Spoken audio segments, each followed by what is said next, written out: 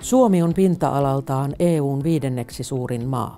Meillä on 309 kuntaa ja 19 maakuntaa, joiden alueiden käyttöä ohjataan kaavoituksella. Maankäyttö on merkittävä ilmastopäästöjen lähde.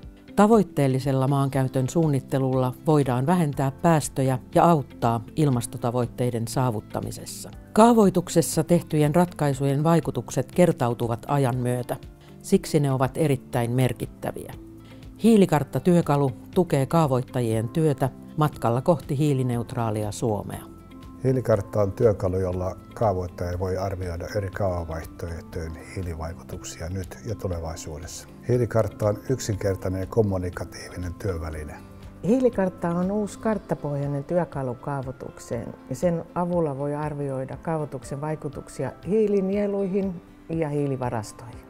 Porvossa hiilikarttatyökalua kokeillaan jo meneillä olevassa Porvon keskeisten kaupunkialueiden osayleiskaavatyössä. Siinä on isoja vaihtoehtoja, mietitään pitkälle tulevaisuuteen ja tällä hiilikarttatyökalun avulla me voidaan arvioida myöskin näitä vaikutuksia hiilivarastoihin ja hiilinieluihin. Kunnat ja maakunnan liitot ovat keskeisessä roolissa ilmastonmuutoksen hillinnässä.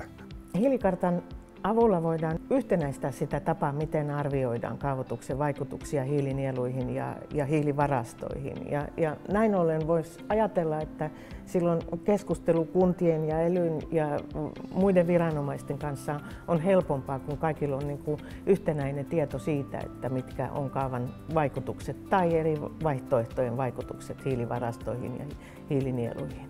Hiilikartan toteuttavat Suomen ympäristökeskus, Luonnonvarakeskus sekä Avoin ry. Hiilikartassa on mukana joukko kuntia, kaupunkeja sekä maakunnan liitto.